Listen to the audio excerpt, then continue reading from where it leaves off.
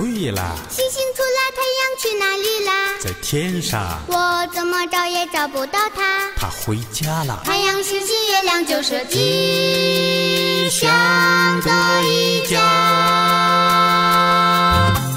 妈妈，哎，叶子绿了，什么时候开花？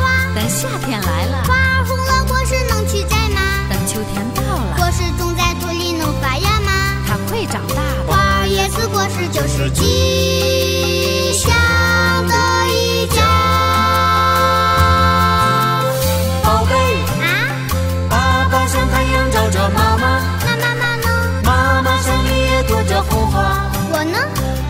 种子一样正在发芽。